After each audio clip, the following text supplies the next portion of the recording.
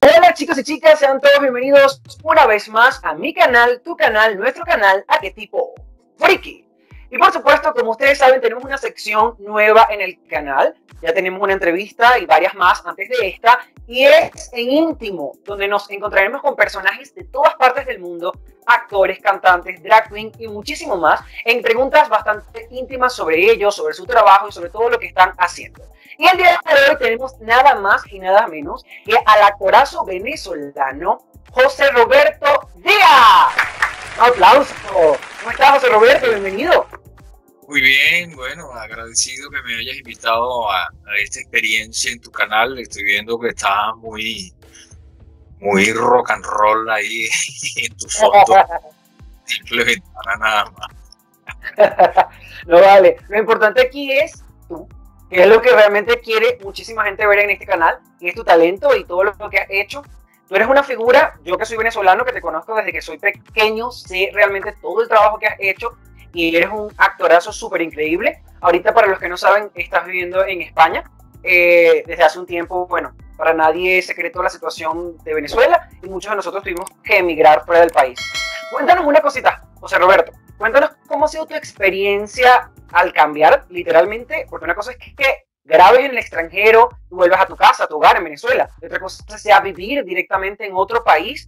Y, y bueno, ¿cómo ha sido tu proceso allí? Explícanos y cuéntanos. Bueno, este, yo salgo de Venezuela con la, con la gira de Papita 2, la película.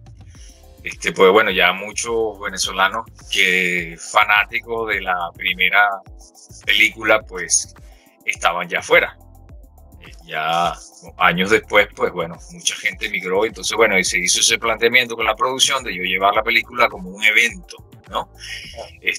hasta donde hubiesen venezolanos, ya, bueno, no terminé la gira, pero en principio era 140 ciudades en 80 países. Imagínate. Este, yo después creo que tengo el audio todavía por ahí de cuando se hacía promoción a lo mejor te la paso. Entonces, entonces bueno, comencé en España, los actores que estaban en, en, en, Estados Unidos hicieron una presentación allá, en Chile, en Argentina, y yo hice muchas ciudades de España y luego, bueno, se, se suspendió la gira, y bueno, me estoy en España, mi familia está aquí, mis hijos están en Madrid y bueno, pues nada, me quedo y bueno, pues hacer lo que tengo que hacer. Lo que sé hacer. Como actor, no, no, no. a, a, buscar, a, a, hacer casting, a, a, ver cómo se hacía aquí. Entonces, bueno, empecé en eso, a, involucrarme en el medio, con la ventaja que soy español de, de pasaporte. Eh, mi padre y mi madre son españoles, entonces ya tenía esa ventaja de tener el, el, el, la nacionalidad española. También la ventaja de que desde Venezuela ya yo hacía españoles, este, pues manejaba los acentos y eso me ha servido muchísimo para que tú veas. O sea, eh, aquí en España eh, están muchísimos venezolanos talentosísimos y lo que pasa es que no nos escriben, o sea, no existimos en las historias, claro. en los guiones. Entonces, no hay un casting que diga se solicitan actores venezolanos. Y se están haciendo muchísimas series para Netflix, Amazon, películas, etcétera, pero no existimos. Entonces, bueno, esto ya yo lo venía haciendo en Venezuela, pues yo en Venezuela era el gringo, el francés, el español, el, el colombiano, el argentino, vaya usted a saber qué. Y esto me ha servido aquí. Casualmente recién hice una película eh, en, en, España y Colombia haciendo de salvadoreño, cosa que nunca había hecho. Es una película española y entonces, bueno, pues ya me conocían de que hago mexicanos en Netflix, en Amazon, eh, todos estos acentos. Y me dijeron, mira, ¿tú qué haces acento? Este, ¿Tú haces salvadoreño? Y yo, sí, claro, por supuesto. sí, que te grabes la escena y las envíes. Ah, sí, claro. Termina la llamada y empiezo a buscar YouTube salvadoreño, salvadoreño. Ya también. Ya lo había escuchado. Mi casting hice la salvedad que dije, yo hago esto y le hice un performance allí de muchos acentos y ahora voy a probar el salvadoreño que, que pues nunca lo he hecho. Y tampoco podía, podía mentir porque el director Manuel Uribe se cría en El Salvador, siendo español. O sea, engañaron, es decir, que son Bueno, quedé. Entonces, bueno, hay, unos grandes actores este, españoles y, colombianos también.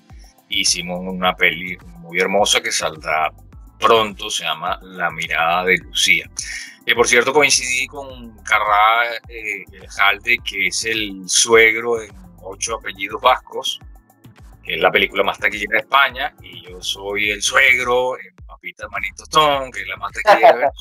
Hicimos una foto allí este, donde dice los dos suegros más taquilleros del cine iberoamericano. Entonces, bueno, disfruté muchísimo ese rodaje. Entonces, bueno, pregunta tú, porque si tú me haces una pregunta. Claro. No, no, pero para mí, yo me quedé escuchándote todo el tiempo porque para mí es súper importantísimo lo que estás diciendo. Pero para que el público vaya entendiendo, vamos a hablarle un poquito de tus inicios como actor. Tú comienzas en Venezuela con Alondra, creo que fue una de tus primeras eh, eh, eh, telenovelas en Venezuela, ¿cierto? Sí, bueno, ya yo venía de teatro. Este, claro. Yo venía de teatro, el que se puede hacer amateur, con los panas, unas cositas por allí.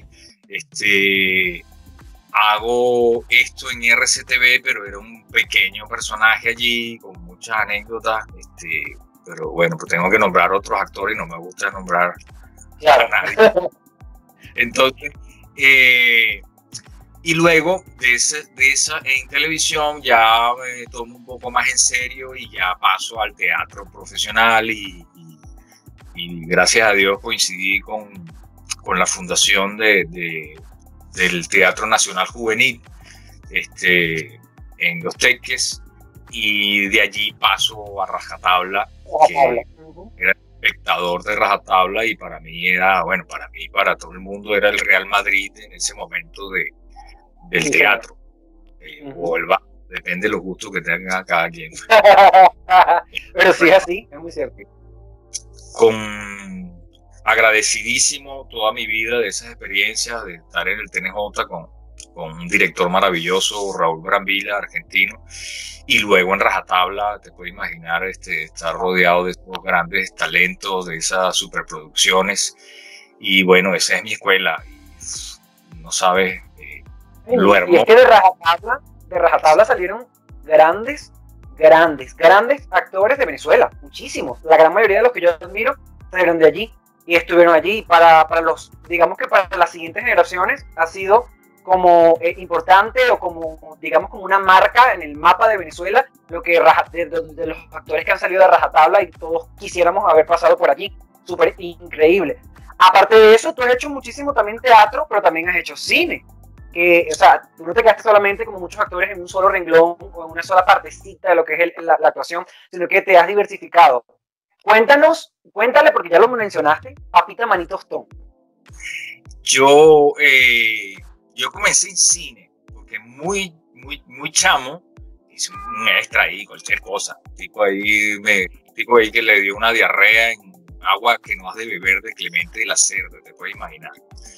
Entonces era una escenita y un pasillo, pero bueno, disfrutas de las cámaras, de cinco acción, de interaccionar con la gente, estás haciendo cine, ¿tú me entiendes? Entonces eh, se disfruta. Y después, bueno, viene lo del teatro, después vuelvo a la televisión y últimamente lo que más he hecho es cine, como tú estás diciendo. Ya, llevo como cuarenta y tantas películas eh, de, géneros. Este, también muy agradecido que me hayan convocado esos castings para, para, películas como Azul y no tan rosa, que se ganó el Goya, eh, Distancia más larga, que se ganó el premio Platino. Eh, bueno, muchísimas, todas, todas las películas que he hecho con, con Malabé, con, con Hernán Jave. Entonces, eso siempre agradecer, ¿no? Como me pasa que yo voy al casting, me llaman a un casting y yo siempre pregunto, ¿qué hago yo aquí? Entonces, ¿quién me llamó? porque posiblemente sí, la directora de casting, pero a lo mejor alguien este, tiene referencias tuyas y fue el director el que le dice a la directora de casting, mira, este, llámame a este actor. Entonces yo siempre pregunto que, reitero lo mismo, agradecer a quien contó contigo para algo. Así sea para un casting, así no que es. Esa pregunta, lo que me estás diciendo, papita Manito Stone, este, pues le pregunto al director, mira, ¿qué hago yo aquí? Ah, bueno, mira, tú hiciste un vampiro con gripe en un comercial y el vampiro tenía gripe, qué sé yo, mi hermano fue el editor y bueno, está como editor un mes viéndote la cara, pues tú eres el único actor que está ahí, te metes en el ataúd, qué sé yo, y tiene todo el material. Y bueno, parece que él se divirtió mucho, sobre todo con las improvisaciones que yo hacía, no sé qué, y él le dice a su hermano, Alfredo, Alfredo Hu, el hermano de Luis Carlos Hu, y le dice el día que hagas una película tienes que llamar a este actor. Y entonces así llego yo a Papita. Entonces, bueno. Y luego ahí en el cate, ah, bueno, mire, este, este, este, es el cuento, no sé qué, este este es Romeo y Julieta con Caracas Magallanes. Buenísimo. Y yo que me la paso inventando, siempre lo repito en algunas entrevistas, yo me la paso inventando guiones y cuentos. Cuando yo escucho eso, Romeo y Julieta con Caracas y Magallanes, dije, o sea, pero ¿por qué no se le había ocurrido a nadie? y sobre todo, y eso Bueno, mira, tan genial que mira lo que pasó. La película, la comedia muy sencilla, muy divertida, con los ingredientes para que pase eso, para que la gente quiera volver a verla y llene a su papá, al abuelo, de gente que tenía que no iba al cine del año 74, 78, o Tiburón, qué sé yo, y fue por lo llevaron los nietos a, ver eh, Papita Marito. Que además tuvo secuela, también. ¿Ah? Que además tuvo secuela también, no fue una sola película. La segunda parte, bueno, con volviendo al inicio de, la entrevista, fue que salgo de gira y, y pues llego a España y, me quedo en España, tío. Hostia, tío, que sí que te has quedado en España. Pero mira, hablando de eso y de España, porque tú llegaste trabajando, porque vamos a hablar de, tú has trabajado en dos grandes plataformas de streaming que realmente muchísimas personas quisieran, que es Amazon Prime y Netflix. Además de esto, en el 2019 ganaste un premio Mejor Actor Vamos a hablar sobre esos temas. Cuéntanos primero sobre el premio Mejor Actor que te ganaste en el 2019, donde justamente la película donde yo también actuaba estaba concursando justamente y, tú, vamos, cuéntanos un poquito más sobre eso. Esa es Blindado.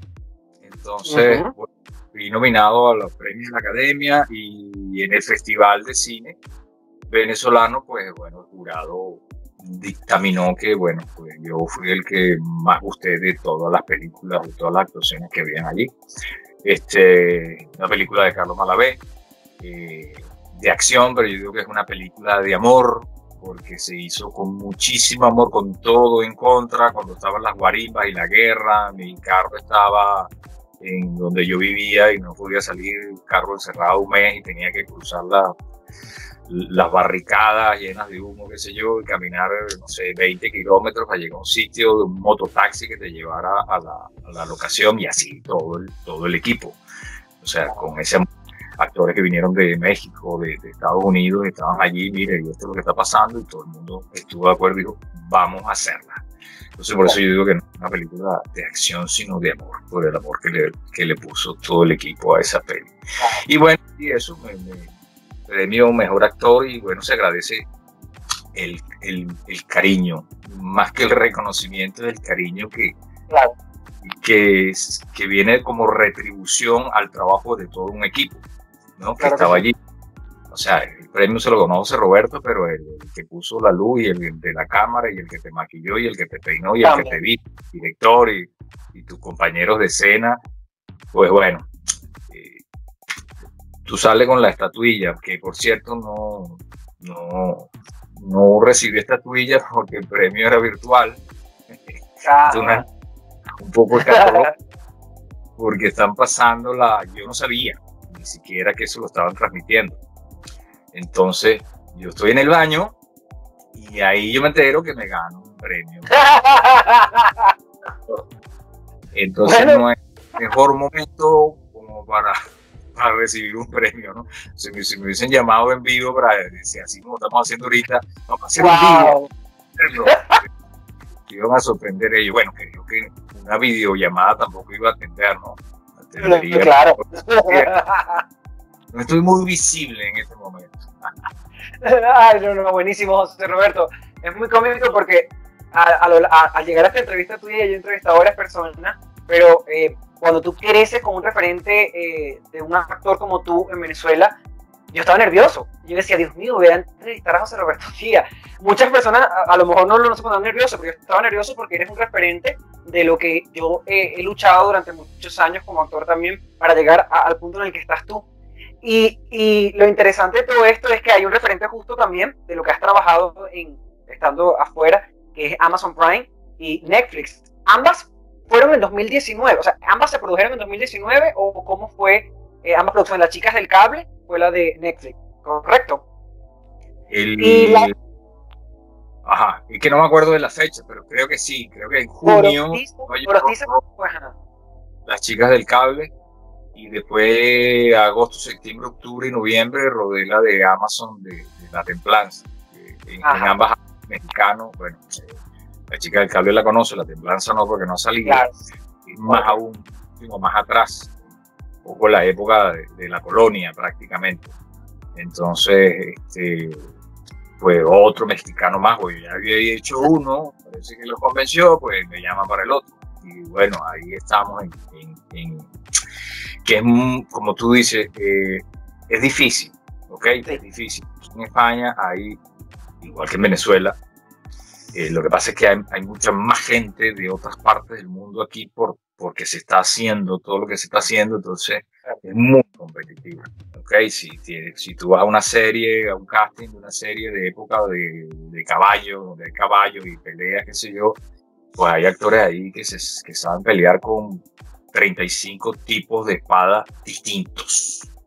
Y cómo era el, el, el, la forma, pues el estilo, como se pelea con esa espada, con florete, etc. 20 eh, formas de montar caballo, depende de la escuela.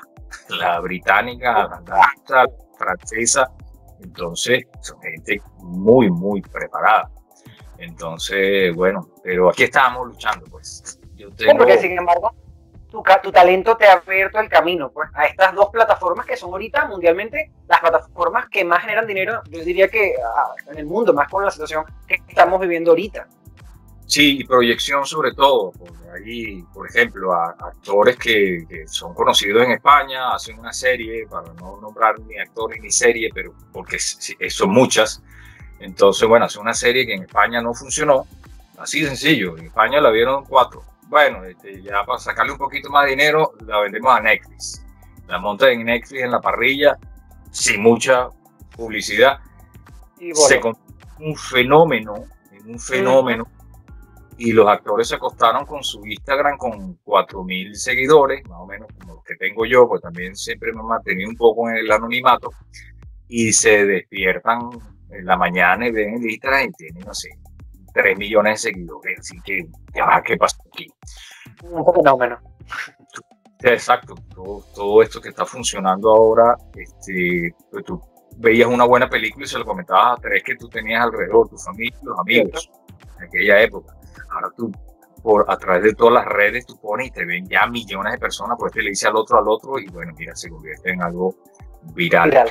Ese es positivo y negativo, porque también te pueden decir, poner por ahí, no vayan a ver esta película que es muy mala. Uy, sí, hay los dos, hay los dos vertientes, es cierto. Totalmente. Hablando de eso, José Roberto, eh, para ti, ¿Cómo, de qué forma ves tú la, la, evolución del cine luego que pasemos de toda esta situación de la pandemia? Muchas personas están diciendo que todo esto se va a convertir en streaming. ¿Tú qué crees? ¿Que sea mitad y mitad, streaming y cine? ¿O el cine va a volver otra vez a repuntar nuevamente como antes? ¿O qué piensas tú? ¿Cuál es tu postura? Bueno, yo lo he estudiado en profundidad y no tengo ninguna respuesta precisa porque todavía no ha pasado. O sea, está pasando que pues, por la comodidad, yo estoy con, con el teléfono, con el móvil, como dicen aquí, y tengo Netflix, y tengo Movistar, y tengo HBO, qué sé yo, y yo veo ahí cine en, en un formato más pequeño, ¿ok? Pero el que lo hizo, lo hizo para cine. Pero bueno, este, eso es lo que tenemos, que me parece formidable. Imagínate tú, la gente, si no hubiésemos tenido esto y viene esta pandemia y tienes un año encerrado en tu casa, ¿qué haces? tiene ese ritual magnífico y, y que no, no, no, lo podemos cambiar de ninguna manera, porque cada uno no va a tener un cine en su casa. Esa gran sala oscura, negra, con el mejor sonido que puedas escuchar. ¿Entiendes? Con esa gigantesca pantalla que un actor dilata la pupila y ves una emoción, en el teléfono no lo vas a ver. Este, el olor a la cotufa, o sea, toda esa cosa, como digo yo, el duende de la cotufa, el duende de la cotufa aparece cuando estás en una sala negra, oscura, con esa gran pantalla, con ese sonido, con el olor, el aroma de las palomitas. Entonces cuando se conjuga todo eso, más todas las emociones, porque tú estás solo en tu cuarto viendo la película, pero ver una comedia en un cine con 300, 400 personas nunca va a ser lo mismo, porque la emoción se irradia y se siente, la risa, el miedo, el suspenso, la experiencia del cine como tal es eso, sí. Ahora que veamos a través del teléfono, bueno, estás viendo el contenido, pero no es la experiencia de cine. Siempre yo seguiré yendo al cine mientras haya cine y cuando no lo haya trataré de tener los recursos o hago una cooperativa y monto un cine en algún sitio y para no. Buenísimo, porque no, es verdad, yo pienso igual que tú. Yo creo que la experiencia de ir al cine no, no se compara con nada. El olor, las sensaciones, todo, todo, absolutamente todo. Eh, es verdad, o sea, vivir esa experiencia no se compara con verlo en tu casa.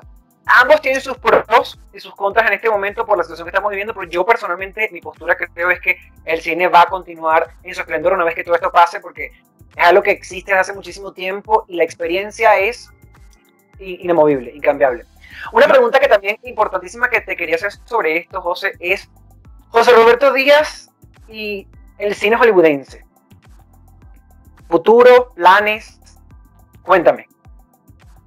Bueno, este, el cine hollywoodense, yo tengo muchos amigos y muy buenos actores y lo intentaron y hay otros que siguen intentándolo y bueno, pues están allí dándole, dándole, y son muchos, muchísimos. Este, yo no hablo inglés para empezar, entonces tampoco soy un fenotipo muy particular porque yo doy de todo. Entonces, pero si estoy en Estados Unidos con esta cara, hay miles y miles con esta cara. O sea, tampoco ni soy hindú, ni soy chino, ni soy raro, ni el latino típico. Entonces, cuando yo vaya a un casting, pues van a ver 2000 con mi cara, pero que hablan inglés, y que a lo mejor el personaje es descendiente de italiano y se crió, no sé, en, en Texas. Y entonces todo eso mezclado, yo no lo voy a dar porque yo no tengo esa experiencia, ¿tú me entiendes? O sea, yo puedo ser un venezolano eh, maracucho, hijo de italiano.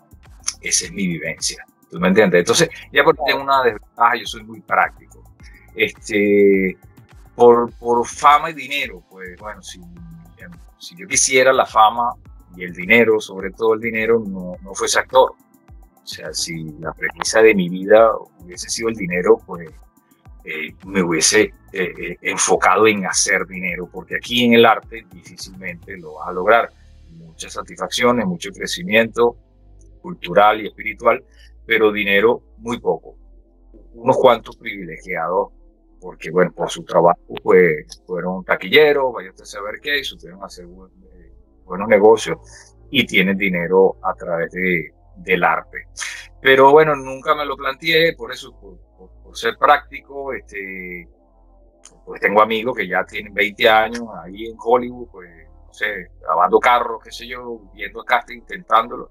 En esos 20 años yo he hecho, no sé, 30 películas. Entonces, es más práctico para mí profesionalmente porque eh, yo necesito aprender de lavar carro, al menos si necesito tres días si vas a un personaje o qué sé yo, y si es el trabajo que tengo que hacer, lo hago. Pero hacer ese sacrificio de 20 años, pues yo me perdí 20 años de crecimiento profesional, ¿entiendes? Este, claro, claro, claro. Claro, no, no, no te frenaste con eso, pues, eso es cierto. Es muy cierto. Yo, yo personalmente que te conozco y he visto tu trabajo, tu talento es súper brillante. Has hecho millones de cosas, La Mujer de Judas, Mi Gorda Bella, novelas memorables de Venezuela, inolvidables de hecho de Venezuela, que marcaron un hito, un antes y un después, después que esas novelas pasaron por Venezuela. De hecho, se volvieron en parte de la cultura venezolana a nivel mundial. La gente sabe cuando tú hablas de La Mujer de Judas, ¿qué telenovela fue esa? O cuando hablas de Mi Gorda Bella, ¿qué telenovela fue esa? O entre tantas, ¿no? De, que de las que has hecho, igual que las películas en las que has estado, como ahorita Manito Stone, o las secuelas o las chicas del cable, el gran fenómeno de Netflix y demás. Y creo que a, lo mejor, refutando un poquito lo que dijiste, quizás sí en Estados Unidos puedan tener algunos tu misma cara, pero tu talento yo lo dudo. que lo tenga todo el mundo. Yo creo que tú eres una persona demasiado talentosa y creo que donde te pares, siembras una semilla y Saru va a crecer súper rápido, a mi parecer. Lo que conozco de ti como admirador, fan tuyo también, sé que así va a ser. Ahora bien, ya, ya, ya. Mira, ah. este, eh, eh, RCTV era el Netflix de la época. Totalmente. O sea, actor que salía allí, este, Coraima Torres con Cassandra, pues fue a, que la, novela paraba la guerra de Bosnia y Herzegovina, la paraba cuando está la novela Bandera Blanca, señores, todo aquí a ver telenovela. Ella creo que llega, si mal no recuerdo, al aeropuerto de Montenegro o algo así, y habían 200 mil personas recibiéndola. Imagínate el, fenómeno que era. Y muchísimos actores. Y bueno, eso de Mi Gorda Bella, hay club de fans de Mi Gorda Bella, donde te imaginas, en Rusia, doblado en ruso, a mí me cosas, qué sé yo, eh, ahora con el Instagram me han empezado a, agregar. Y club de fan fuerte, o sea, de cuántos años tiene eso y ahí sigue poniendo fotos y llamando. cada vez que cumple año uno, te lo ponen, lo celebran. Club de fan de, de todos los personajes de, Mi Gorda Bella. Increíble, porque es que es verdad, fueron fenómenos, son fenómenos actualmente todavía son referentes de lo que eran las grandes telenovelas venezolanas, las grandes producciones venezolanas que marcaron un hito en toda Latinoamérica, de hecho, y en el mundo entero. Pero era como que las novelas más diferentes y más novedosas, por ejemplo, el formato de La Mujer de Judas. Nunca se había visto una novela en ese estilo, hasta que esa novela apareció. Cuando apareció La Mujer de Judas no existía nada parecido a eso, nada. Eso era un enganche, todo el mundo se enganchó a ver esa telenovela, todo el mundo.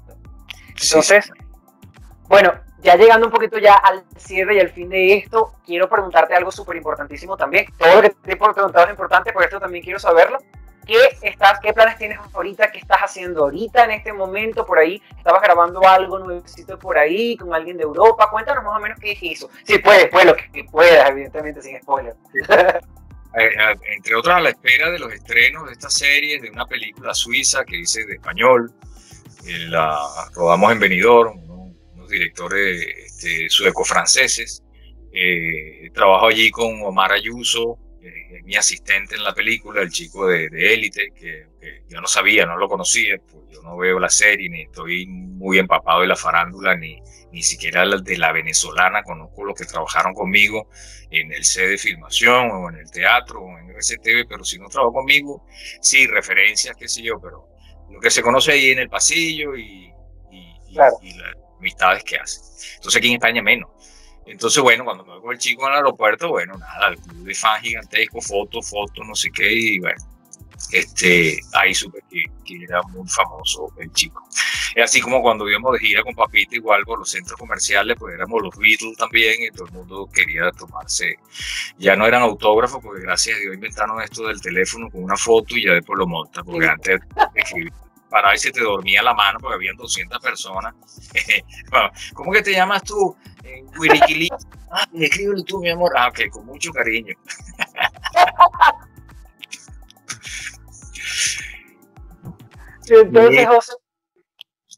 Bueno, primero, este, gracias por, por, por, todos esos halagos que me estás haciendo y el club de fan y, y, lo que me admiras, pero la cosa no va por ahí. La idea es que las cosas que uno hace, la gente las reciba con cariño, pues te respeten tu, profesión y, que también tengan este, la puerta abierta para cuando algo no funcione, también te lo digan, ¿entiendes? O sea, coño, Ale, tan buen actor que eres, coño, ese papel que hiciste, ¿dónde lo sacaste? Qué horrible, no importa, ¿tú me entiendes? Porque esto es siempre, siempre vas por el experimento, siempre te arriesgas, te arriesgas a ser un personaje, ¿entiendes? O sea, el personaje no, no eres tú, el personaje no se quiere ganar un Oscar, ni un premio, ni quiere, ni quiere impresionar a nadie. El personaje está ahí en su momento histórico, en lo que le pasa, en sus emociones. El personaje no sabe que hay cámara, ni sabe que hay luces, no sabe que hay nada, porque no eres tú, es él. Entonces, bueno, uno se arriesga a ser personajes y los personajes quedan como que quedar los personajes. ¿Tú me entiendes? Claro. Guste. La idea es que sea, sea real, pues, y sea honesto con el personaje. A mí, por ejemplo, no me gusta cuando voy a un cine, un teatro y veo un actor que yo siento, presiento y después indago también entre el público y también es común el, cosa que no se habían dado cuenta. que se está luciendo.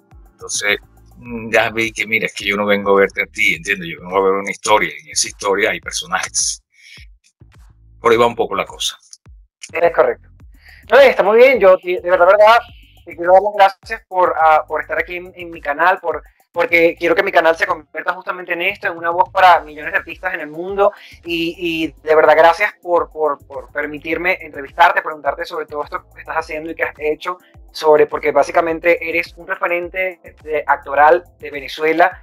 Y, o sea, muchísimas personas, muchísimos venezolanos estamos muy orgullosos de, todo el trabajo que tú has logrado y hasta dónde has llegado. Y por eso de verdad te mereces de verdad un aplauso porque lo haces con pasión, amor y, y, sin la necesidad de, recibir elogios, sino que lo haces con amor, literalmente con el corazón. Gracias por estar aquí en mi canal, gracias por permitirme esta entrevista y bueno, aquí está tu casa. Estás invitado cuando quieras a volver a estar aquí. Muchísimas gracias a ti por la invitación. Y bueno, ya como estás este, invitando referentes, que escuché por allí, me un pajarito que ibas a entrevistar a José Manuel Vieira, que es un referente de la voz en Venezuela y en el mundo por todo su doblaje, de todo, de, todo esto que le encanta a los chicos con la manga, esto, qué sé yo, y, y de grandes canales y documentales, etcétera, etcétera. Entonces va a estar súper pendiente de ver esa entrevista con el gran José Manuel Viegas. Buenísimo, eso ya viene prontito por allí. De verdad que él es un referente. O sea, ha trabajado para las voces de History Channel, ha hecho de, absolutamente, ha hecho de todo. O sea, una, es increíble el repertorio y por allí viene esa entrevista también muy prontito, ya por aquí, por este canal lo van a estar viendo, así que tanto eh, tú, José, como todo el mundo estén pendientes que próximamente por aquí, por este canal, va a estar esa gran entrevista, igual que tenemos muchísimas más entrevistas pronto por aquí. Gracias, José, por haber La sorpresa, cuando lo invite, qué sé yo, le pones este videito que va a hacer ahorita. José Manuel Vieira, uno de los mejores actores del mundo, un actorazo en el teatro, en el cine en la televisión, el mejor narrador de fútbol que tiene Venezuela y parte del mundo. Con ustedes, José Manuel Vieira. Perfecto. lo voy a colocar, yo, lo voy a colocar en el video de primerito para que todo el mundo, antes de presentarlo, tú digas eso, justamente va a estar súper increíble. José, un, placer, un gusto eh, estar contigo nuevamente aquí. Y a ustedes, eh, señoras y señores, por aquí van a estar tanto mis redes sociales como las de José, igual que en la cajita de información también van a estar, para que sigan este actorazo y vean todo lo que ha hecho y lo que vendrá, por supuesto, también para, para este nuevo año y para los que, los que siguen. Muchísimas gracias, chicos y chicas, por haber venido a mi canal, tu canal, nuestro canal, Arquetipo Freaky. Y recuerden, videito la próxima semana. Los esperamos.